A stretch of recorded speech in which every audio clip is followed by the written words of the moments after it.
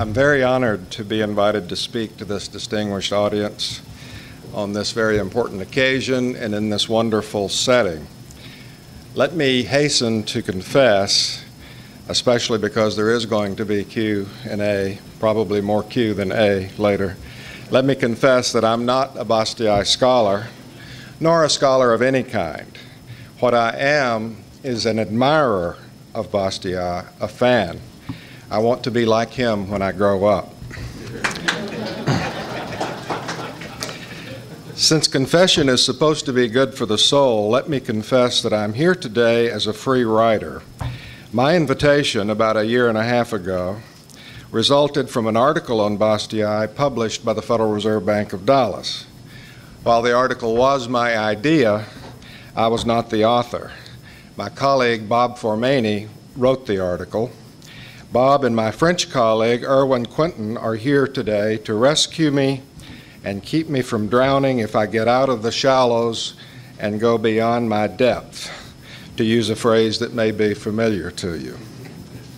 I might also say that my friend Dwight Lee is here. Dwight is the chair of free enterprise at my alma mater, the University of Georgia.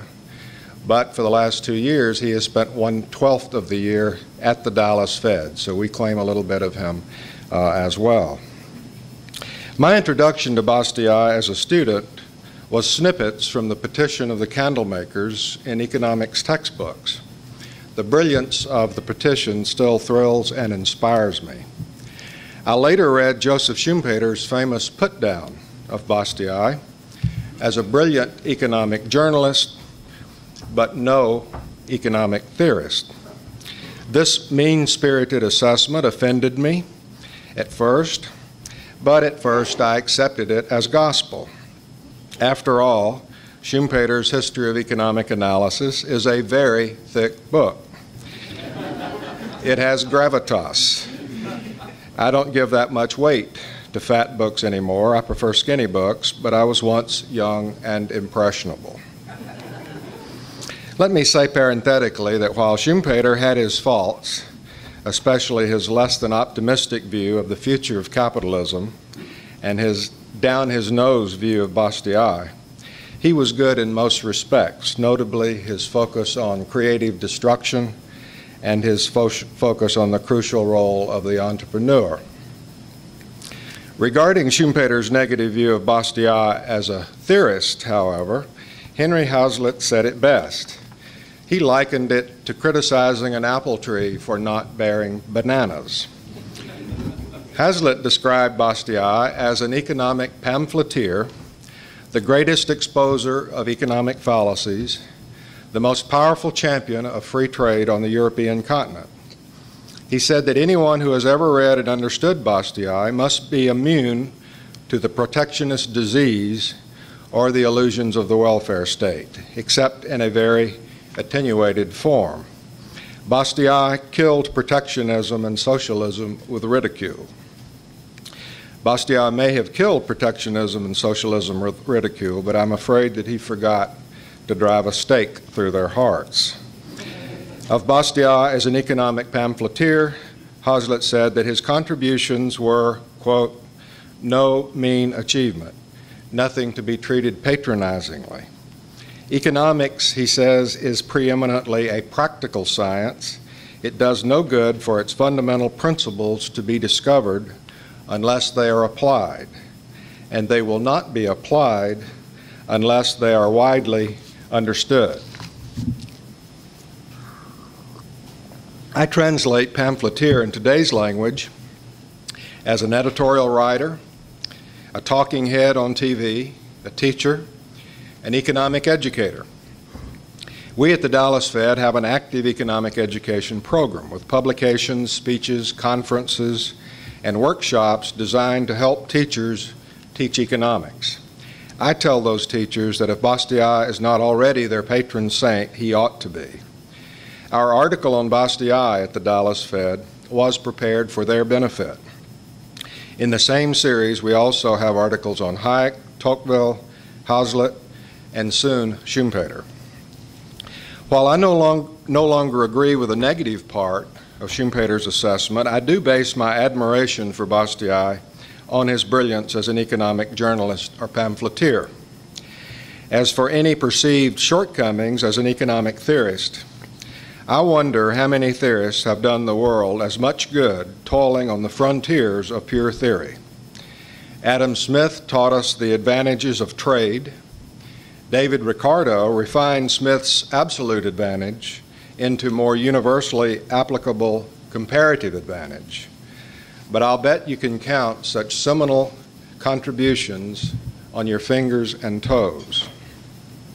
At least as valuable as a practical matter is the ability to teach the lessons of good economics to real people and their political representatives, making sound economics interesting, readable, and understandable, and using it to shoot down dangerous, dangerous myths and nonsense with wit, wisdom, and good humor. Someone must teach good economics in the language of the common man and make the world safer for sound economic policies. Whether the common man be Jacques Bonhomme, aka James Goodfellow, John Bull, or Joe Sixpack in the U.S. In Texas, his name is Dickie Flat to the sophisticated and Bubba to the rest of us. Where I come from, Bubba is not an acronym for the Bundesbank. The ability to move the frontier of economics closer to the people and the people closer to the frontier of economics should not be underestimated or undervalued. I try to make it my business to narrow that vast gap, at least to half vast. Schumpeter was half wrong about Bastiat, but even if he had been totally right, Bastiat would still be my hero. To be brutally honest about it, and speaking primarily for myself and not you, the intellectual bar that Schumpeter sets for pure theorists is set pretty high. Most of us, by definition, don't have IQs three standard deviations to the right of the mean and thus don't qualify. What should we do? Do we tuck tail and watch daytime TV? Or do we try to bring the message from the mountaintop down to the folks in the valley? After all, even Moses was only a messenger. I may admire Bastiat in part because I share his perceived limitations. As Clint Eastwood's Dirty Harry says, a man's got to know his limitations. I find myself under the tall part of the IQ bell curve, hopefully right of center, but certainly with plenty of headroom.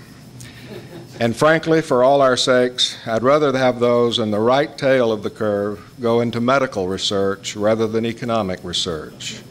I want to live longer as well as better. Besides the headroom problem, I didn't have enough math before studying economics at the University of Georgia, so I didn't become a quantitative economist. I'm not sure I became a qualitative economist either, but whatever I became, I got over it eventually.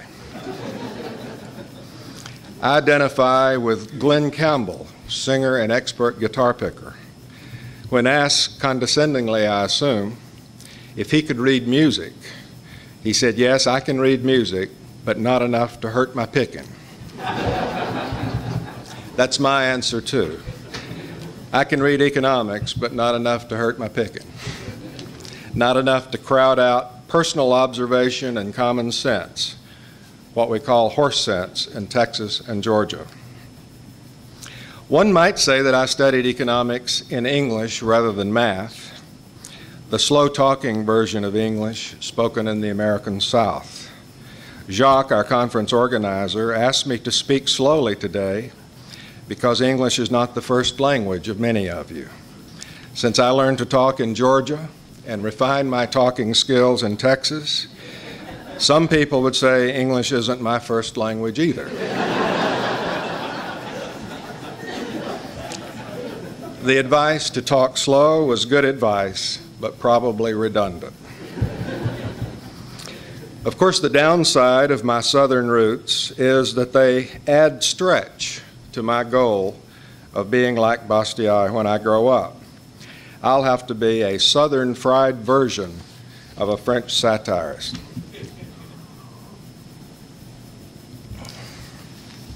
When I moved from the east coast of the U.S. to Texas 10 years ago, I learned a Texas saying. It says, no matter who says what, if it don't make sense, don't believe it. I've taken that advice to heart. Since then, I've tried to translate economic sense, which is often uncommon sense, which is often counterintuitive, into common sense. As a result, many of my colleagues think that I have a good command of the obvious. But sometimes we must be reminded of the obvious. Obvious things like abundance is better than scarcity, more is better than less, if you're talking about a good thing. We work to live rather than live to work. We produce to consume, not consume to produce. We export to import, not import to export. We should overcome obstacles and inefficiencies to create wealth and prosperity, not create obstacles and inefficiencies to make work. We should not break windows. That is a bad thing, not a good thing. Speaking of the broken window fallacy, Bastiat taught us that perhaps the most obvious need of all is the need to consider the unseen as well as the seen to consider not only what happens, but also what does not happen as a result of what happens. Now, I know you got that because you've heard it before. Closely related to the seen and the unseen, of course, is the half truth and the whole truth, the short run and the long run, the effects on special interests and interested parties versus the overall effects on everyone I think we owe a debt of gratitude to Henry Hazlitt, who fleshed out these Bastiat concepts in economics in one lesson. Hazlitt does justice to Bastiat, which is saying a lot. I try to emulate Bastiat's willingness to state the obvious. For that reason, two of my favorite economists are former baseball player and manager Yogi Berra and comedian Richard Pryor. Yogi Berra is alleged to have said, you can observe a lot just by watching. and Richard Pryor once famously asked, Who are you going to believe, me or your own lying eyes? Those two taught me to believe my eyes. Bastiat certainly observed a lot by watching. Empty docks and dried up commerce showed him directly the benefits of protection. As for abundance being preferable to scarcity, another of my favorite economists, the late actress and wit Mae West, put it almost as well as Bastiat when she said, Too much of a good thing is just about right.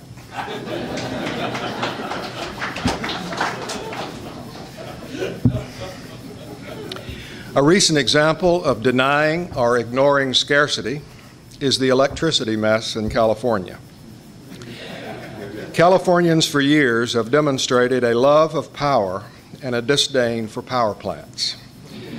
Preferring clean air, they have built little new power generating capacity in recent years. Then they deregulated a portion of their industry, electricity market, but kept price controls at the consumer level. As the cost of generating electricity and buying it from non California sources rose, consumer price caps provided no market incentive for new supplies or reduced demand. They now want to fix the problem caused by consumer price controls, not by removing them, but by imposing similar controls on wholesale prices. Meanwhile, they want the federal government to force non California sources to sell them electricity at below market prices, at prices that are just and fair. Where is Bastiat when you need him? Among the many reasons to admire Bastiat and want to emulate him is his sense of humor. Everybody likes a good sense of humor if the joke is not directed at them. But Bastiat's sat- satire transcended jokes. It was directed at bad ideas, not bad people. It was not mean spirited, a lesson our fellow travelers should note. As we say in Texas, he could step on your toes without messing up your shine. It amazes me how fresh and contemporary Bastiat's writing sounds after 150 years and in a different language.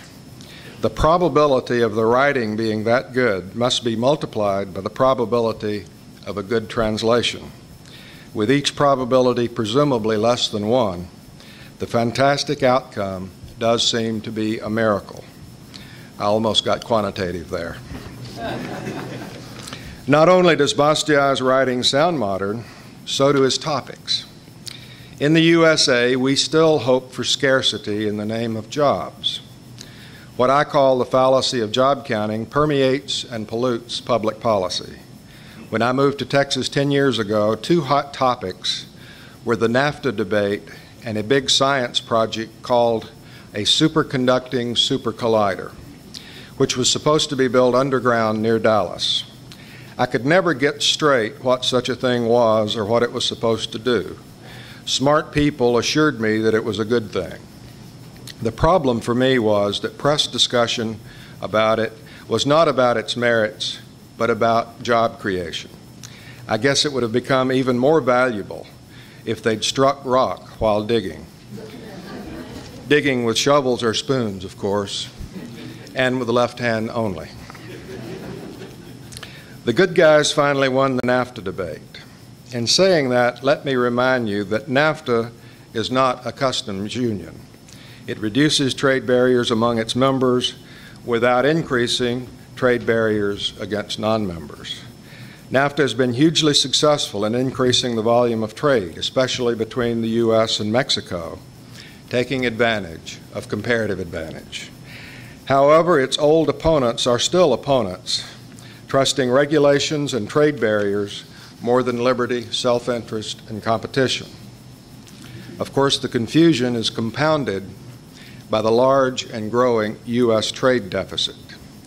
Deficits have minus signs, reflecting an excess of negative imports over positive exports. Even though double entry bookkeeping guarantees overall balance, someone always insists on drawing a horizontal line across the middle of the balance of payments and focusing on the half of the offsetting imbalances with the minus sign. After drawing a line through the balance of payments, they then want to draw a line in the sand. My solution is to stop keeping foreign trade statistics. We don't keep records on interstate trade between Texas and California, so we don't know which state has the deficit and which has the surplus. And we don't care. But if we kept the statistics, we would know, and the deficit state would do something foolish to correct its problem. The folly of trade accounting can be illustrated by a song by genius Texas singer songwriter and sculptor Ter- Terry Allen, which reminded me of Bastiat's ship example. In his song, Terry Allen tells of a truckload of art to be delivered from New York City to California. The truck was filled with the most significant piles and influential heaps of artwork ever to be assembled in modern times, according to the song. But the truck turned over and rolled off the road, and burned near the highway. It would have been a terrible sight if anyone had seen it. But in trade accounting terms, the outcome was ideal. New York exported the art. California didn't have to import it, and the wreck created work for the Highway Patrol.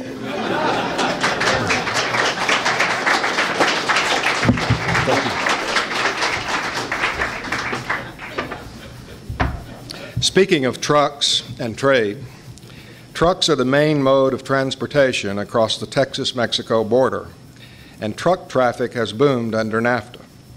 But there is a natural barrier between Texas and Mexico the Rio Grande River. So the trucks have to use the bridges over the Rio Grande. Bridges built presumably to facilitate the crossing. But while the bridges were made for crossing, the hundreds and hundreds of warehouses nearby were not. They were made for storing, that is, for not crossing, or at least not for crossing without stopping first. The warehouses have come about as laws were made to keep their trucks away from us and our trucks away from them. The way this works is long haul carriers headed south must unload their cargo into border warehouses. The cargo is later reloaded onto short haul carriers to cross the bridge, and then unloaded so it can be reloaded onto yet another long haul carrier that takes the cargo into Mexico. The short haul carriers, of course, do not backhaul. They return empty in both directions, which doubles the number of crossings. Of course, all this activity creates jobs and local prosperity. You've heard someplace of negative railroads. Well, on the Tex Mex border, we've got ourselves some negative bridges. I'm told it's worse on their side of the border than on our side. I'm glad to hear it. On the other hand, our side failed to live up to our agreement to permit Mexican trucks north of the border.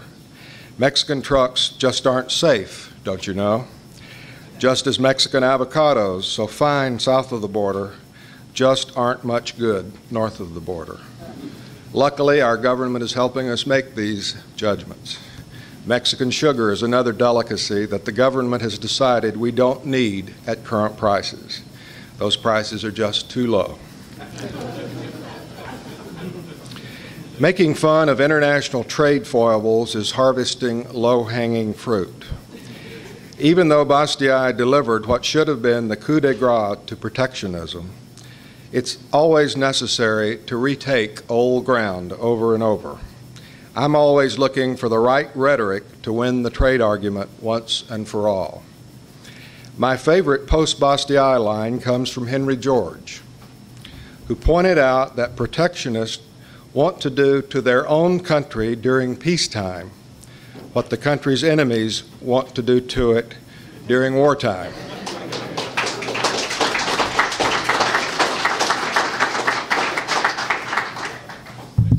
i.e., close its borders to imports.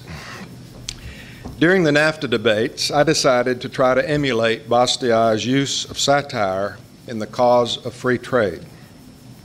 At the time, country music icon Merle Haggard had a song on the radio titled Rainbow Stew, which describes his version of utopia. One of the verses goes like this when they find out how to burn water and the gasoline car is gone, when an airplane flies without any fuel and the sunlight le- heats our home, one of these days when the air clears up and the sun comes shining through, we'll all be drinking that free bubble up and eating that rainbow stew. I wrote an op ed piece, a pamphlet, I guess you would say, titled Free Trade and Rainbow Stew that questioned, tongue in cheek, the loss of jobs if Merle's fantasy came true. If we did not want cheaper goods from Mexico, then surely we would not want water and sunlight powering our cars and heating our homes. Think of all the lost jobs in the West Texas oil fields. Three national newspapers turned down my little masterpiece, two without comment and the third on the grounds that its readers might not realize that it was intended as satire.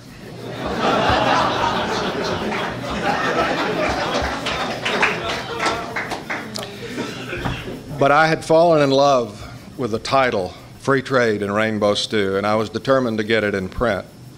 So much so that I shortened the piece and made the satire much less subtle, and a newspaper in Austin, Texas printed it but they changed my title. So much for my brief fling as the Bastiat of Texas. Now, while we all have country music on our minds, I should point out that I get much of my wisdom from country music. Much country music is done with three guitar chords. A while back, I heard a song titled Three Chords and the Truth. In it, Sara Evans sings, he changed my mind with three chords and the truth. I immediately, as you would, thought of the difficulty free traders have had changing doubting minds on free trade. We've had the truth since Adam Smith. What we've always needed are the right three chords. That reminds me of a story about Mark Twain and his wife, who wanted to help him stop swearing. To show him how bad his swearing sounded, she imitated him, using every expletive she could think of. When she finished, Twain told her that she had the words, but not the music. More than anyone else on the planet, when it comes to individual freedom and liberty, Claude Frederic Bastiat had the words and he had the music. Thank you very much.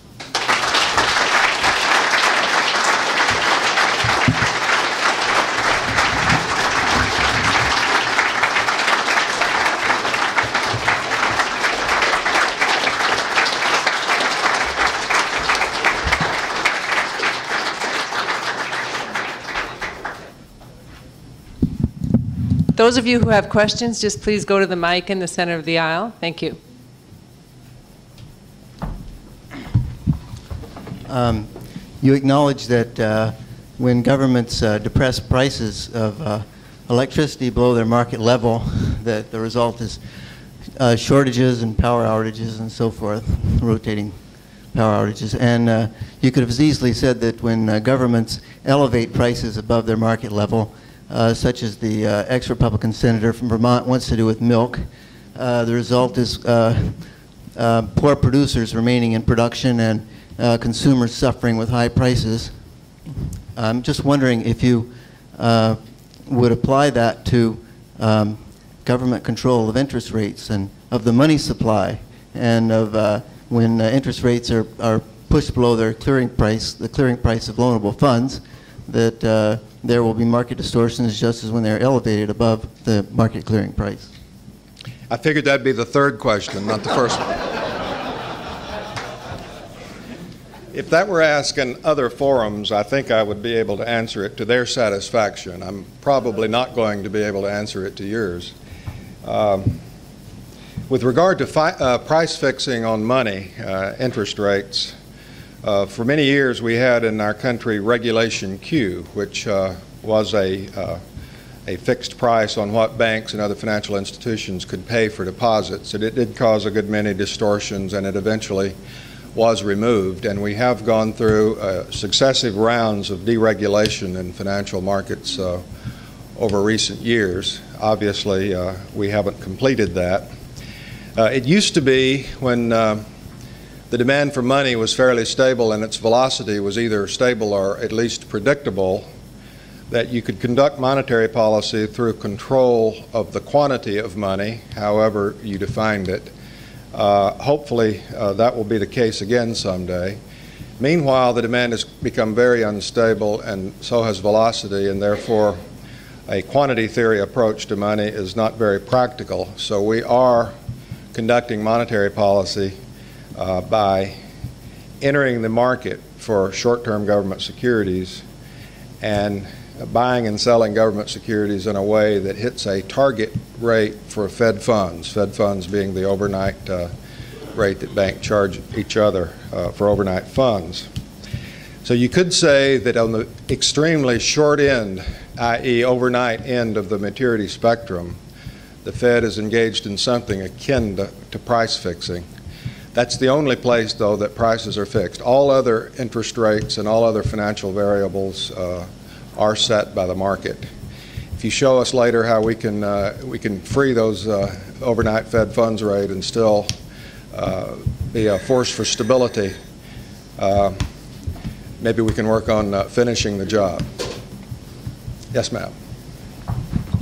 Well, this is, this is really a huge question, and I'll let you answer it any way you like, but I'm just wondering when you uh, get together with Alan Greenspan, who's an ostensible objectivist free market person, uh, what kind of discussions do you have? Are there ever any really honest discussions about the fact that you should um, abolish the Fed if you were a true free marketeer? Because you, know, you, you know, you you said there's uh, one only one element that's controlled. That's like you know being a little bit of a prostitute. Actually, I think you can be a little bit of a prostitute. You just can't be a little bit pregnant. As, as, uh, we have honest discussions, but never quite that honest, to tell you the truth. That was the answer? Well, I could, I could elaborate, but not to anyone's satisfaction in here. Uh, Bastiat taught us that you, you should look at what happens and what is, but you should also look at what would be, what could be, if what is was not. Uh, having a central bank with Alan Greenspan at the head of it uh, may not be the ideal, but it's a least worst situation to say the least.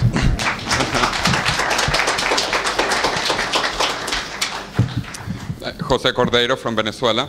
I, I, had the pleasure to meet you last year in the dollarization conference that you organized in the Federal the Dallas uh, Reserve.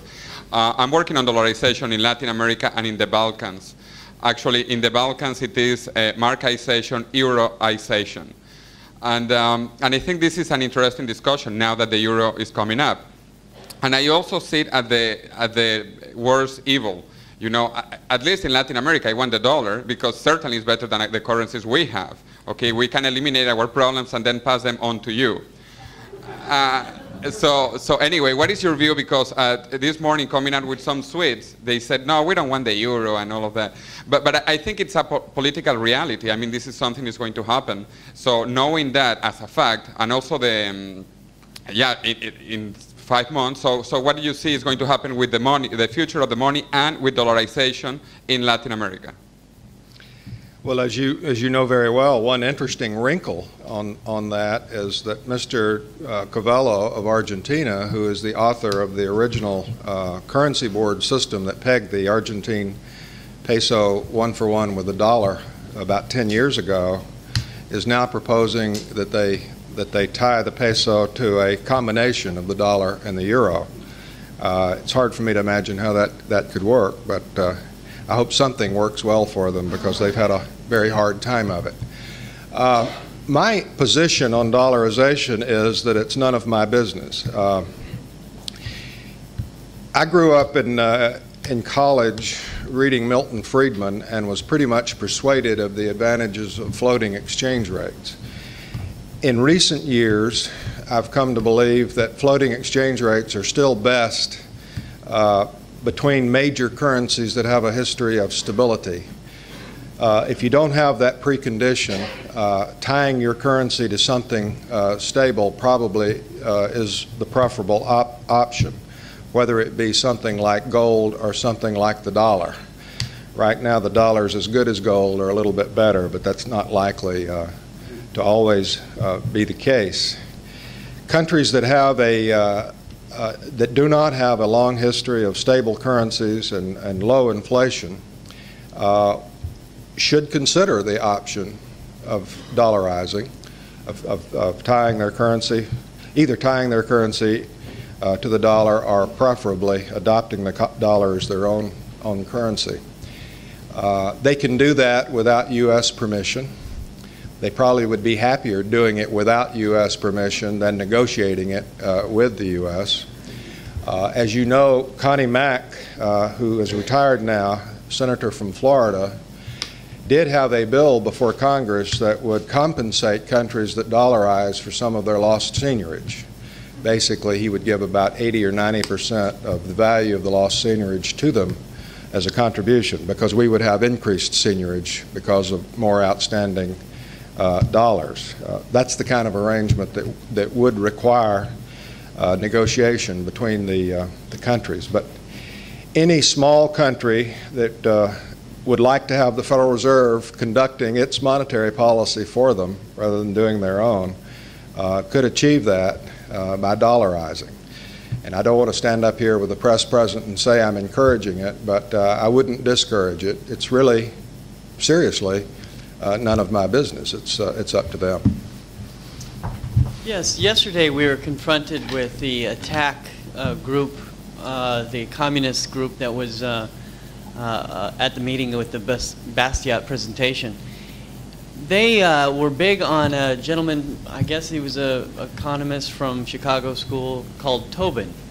And he's advocating apparently a tax on arbitrageurs who uh, punish countries for their bad policies, in effect lowering the value of the baht or the mark or the franc whatever it is, and they want to use that money apparently to fund international organizations such as the UN for relief and things like that. Do you have any comments on, uh, I guess would be called the Tobin tax? Yeah, no, I really don't know enough about it to comment on it. I gather it's just a, uh, a small per unit tax on a lot of units that would generate a lot of money. Uh, That has from time to time been suggested in, the- in the U.S., and I believe I'm correct in saying the Fed has always been against it. I believe it came to the attention of the Senate Banking Committee not long ago, and its uh, then chairman, Senator Phil Gramm of Texas, uh, was decidedly against it. But because of price fixing of milk in Vermont, he's no longer the, uh, the, uh, the chairman of the Senate Banking Committee, and that has changed hands, and, and uh, taxes like that could possibly get, get attention in the future.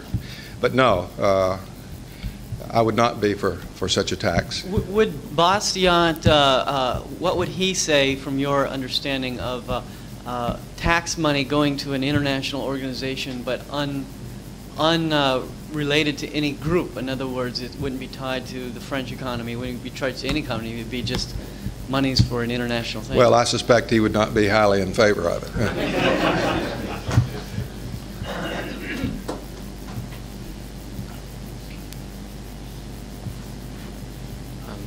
Hector Nopari from Peru. Uh, what's your opinion for the future of the money, the, electro- the electronic money, please? Uh, For decades now, people have been saying we're on the verge of uh, eliminating paper and uh, going to all electronic money. Um, Sort of like the Brazilian economy. It's always the economy of the future. Uh, um, There is a, uh, a new book out by Martin Mayer called The Fed. And um, I think that today I've got a book review coming out in the Financial Times. One of the criticisms of, of the Fed by Martin Mayer was that the Fed has, uh, has hampered the transition away from paper toward all electronic money. Uh, my answer to that is that uh, right now, the current system, however you describe it, does reflect the real costs of all the alternatives. Because to the extent that the Fed is involved in it, we have to charge for our services and recover our costs. So it does reflect current costs, and it reflects current uh, public acceptance and non-acceptance. So what we have right now is what the market is producing. And in my review of the book, I just say that it would be the height of arrogance for the Fed to try to substitute its view of what the money system should be in the future for the public's view. However, there, there does continue to be, very slowly, a movement uh, uh, toward more electronics. The, the percentage gains are very high, but the base is small. The paper-based system is still growing at very small rates, but the base is very large. But uh, what we have and what we will get will reflect uh, what you and I vote for with our own uh, revealed preferences.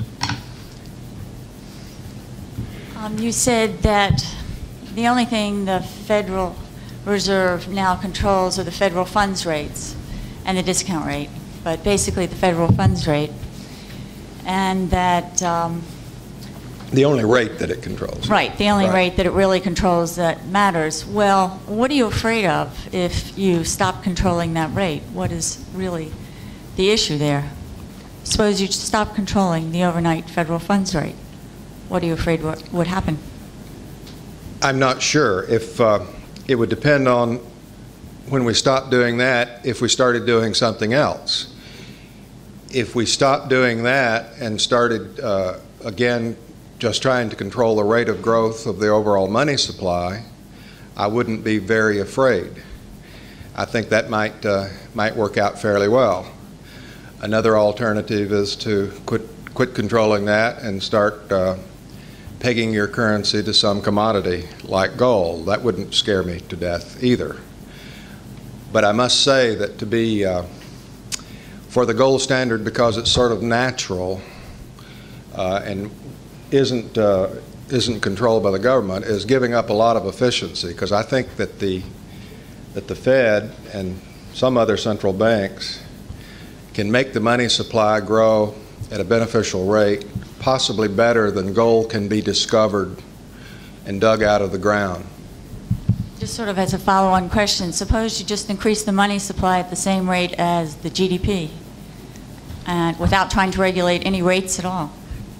Well, that's, uh, that's approximately the way it would be done. Milton Friedman used to say 3% a year, per quarter, per month, per week, and per day. Is 3% or so was using a definition of money that was very narrow. Uh, you'd have to you'd have to settle on your definition of money and then settle on your rate. But it's a very it's a very reasonable approach to take. It's pretty much the approach that the Fed tried to move to in uh, 1979 when uh, when we went off gold and Paul Volcker uh, convened that Saturday FOMC meeting. We had been trying to control the money supply through interest rates up until that time. Uh, the decision was made to quit worrying about uh, interest rates and just control money. Interest rates, of course, went to 21.5%, which was much higher than anybody dreamed they would. But it was a reflection of the enormous demands that uh, was causing us to miss our, uh, our money target prior to that. But no, controlling uh, money in lieu of controlling a short-term interest rate, uh, I would not really quarrel with.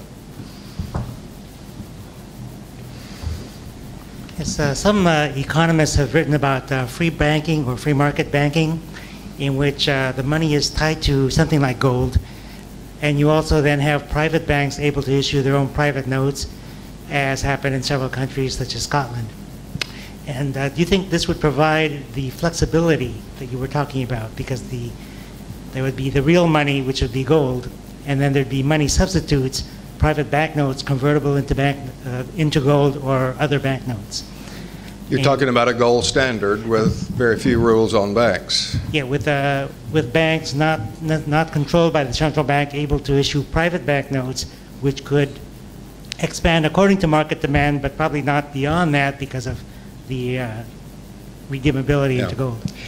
I'm not an expert on free banking, so I can't. Uh, anytime somebody asks a free banking question, they've always written a book on the subject, and I'm always, I'm always at a disadvantage. Uh,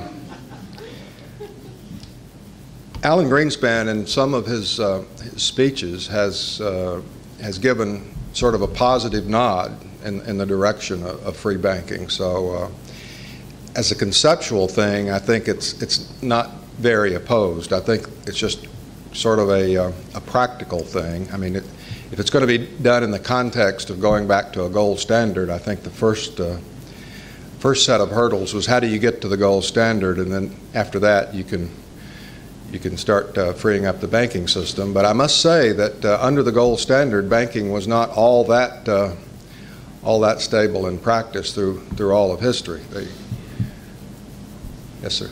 Yeah, I guess uh, I'm wanting to rub it in a little bit more.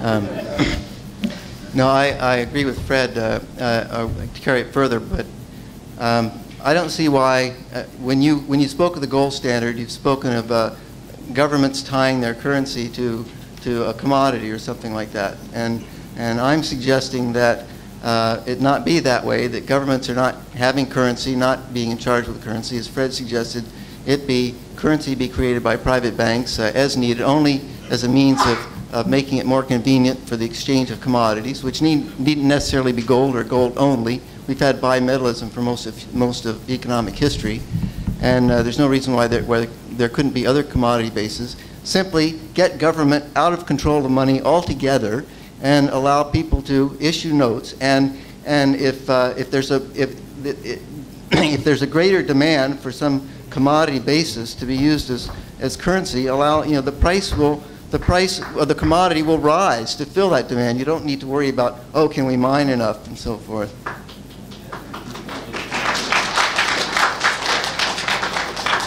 I think probably American Airlines frequent flyer miles are going to be our private money. John Kingman from Costa Rica. I work in the mining business, and uh, we're pretty good with my colleagues at engaging in wild speculation about the nature and consequences of central bank loans to outfits like Barrick Mining and others. Can you comment on that whole business? No, I don't know anything about it. The, uh, the Fed does not make any, any loans to anyone other than financial institutions in, in the uh, U.S., so we don't have any central bank loans uh, Well, these- like that.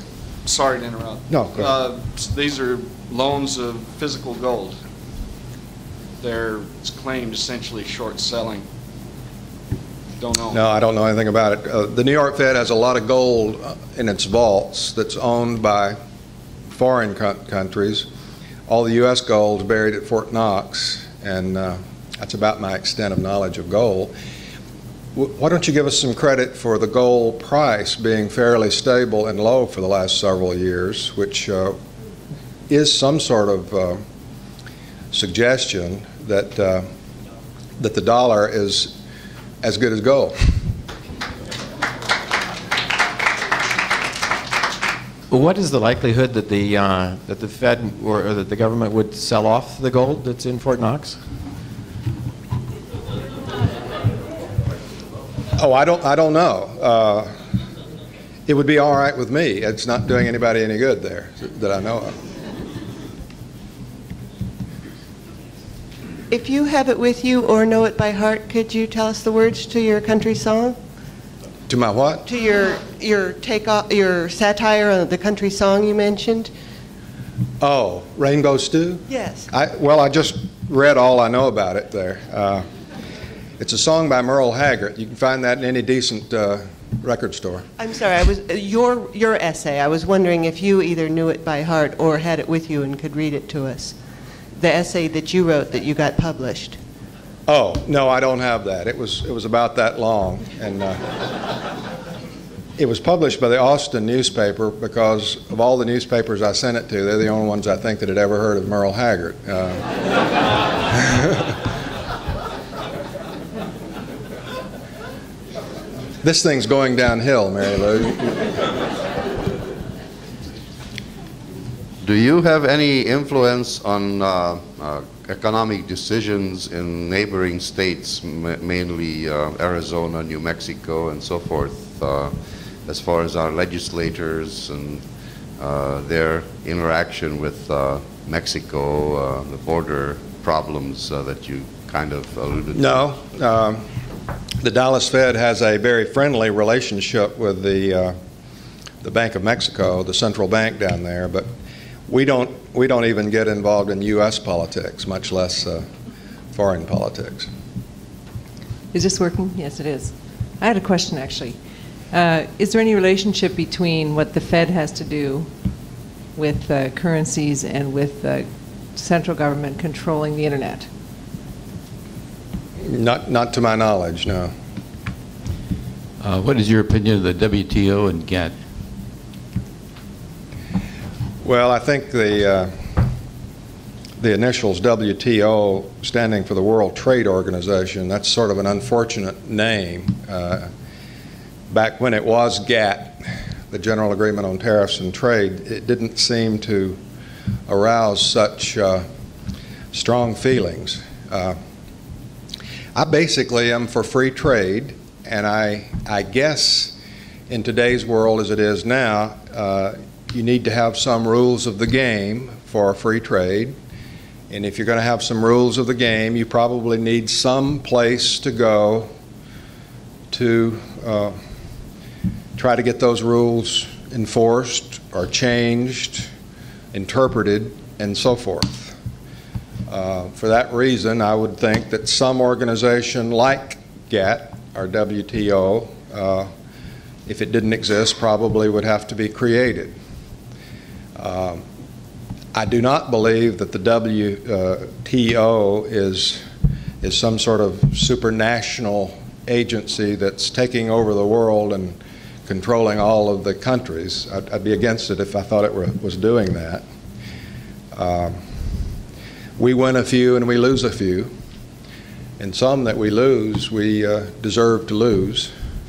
For example, it's not WTO, I guess it was the administrative uh, thing on NAFTA ruled against uh, the U.S. on trucks, Mexican trucks in the U.S. We clearly, as far as I can tell, uh, broke our word on that and broke the, the agreement on that.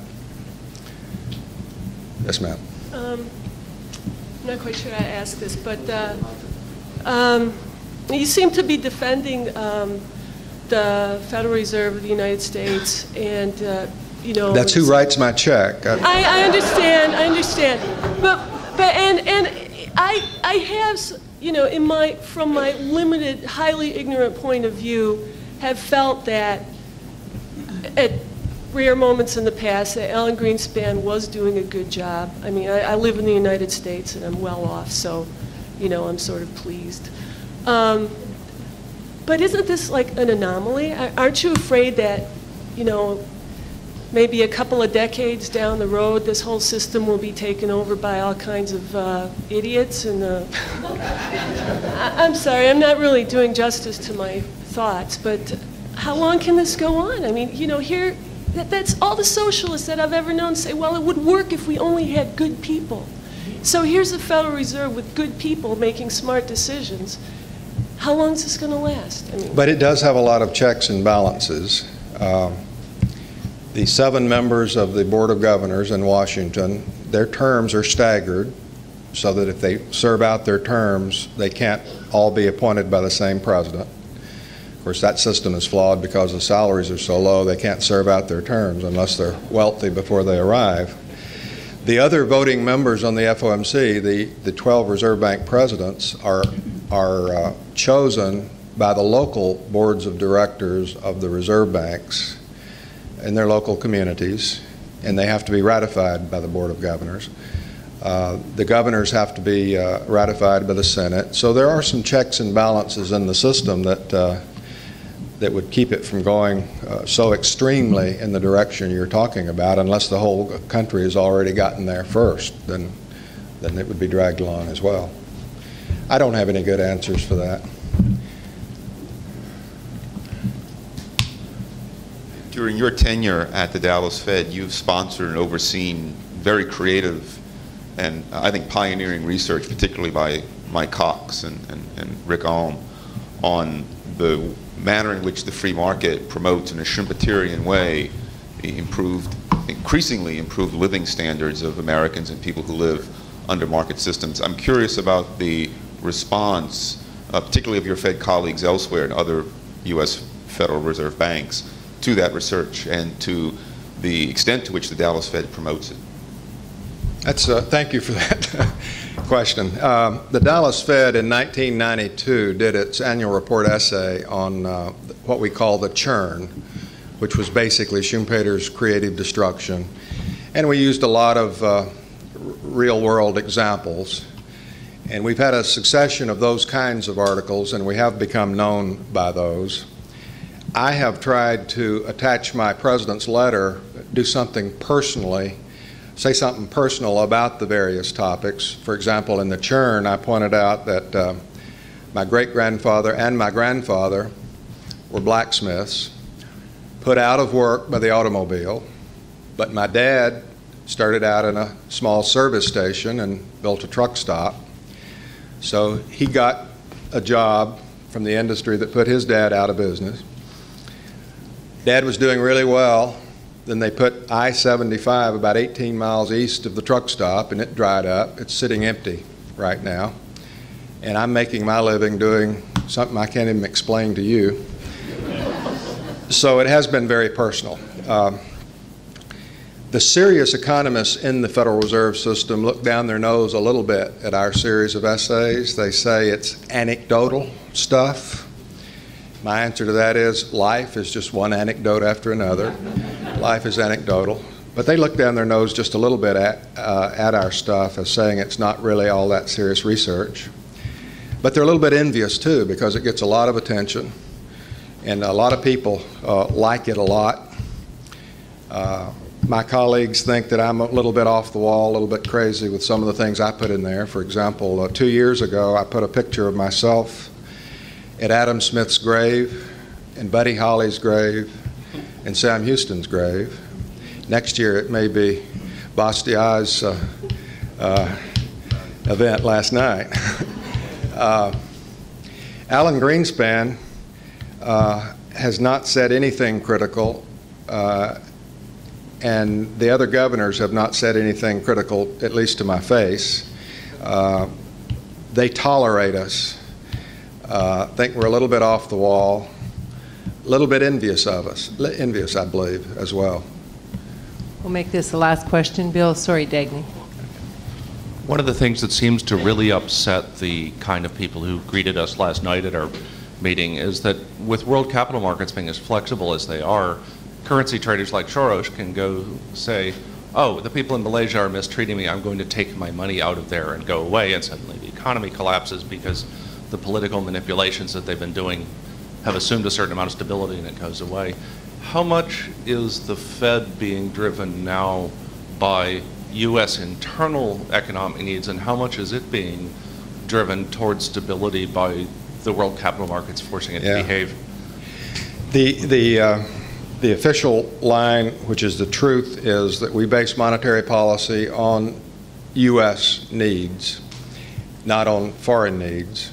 However, uh, exchange rates are important and world interest rate levels are important. So to the extent that foreign economic developments have an impact on the U.S. economy, they're, they're taken into account. But we, we don't base monetary policy on anything other than uh, U.S. developments. The bond vigilantes have been taking the law into their own hands in this country for a long time, and you're describing the foreign exchange vigilantes and the hedge fund vigilantes. That's probably a good thing because uh, their view of the way the world ought to be pretty much coincides with our view of the way the world ought to be. Certainly, the internet uh, and other information technologies are reducing the power of governments and central banks relative to the individual. And so that's probably a good thing. And on a final note, I stopped beating my wife about three years ago. Thank you very much. Thank you, Bill.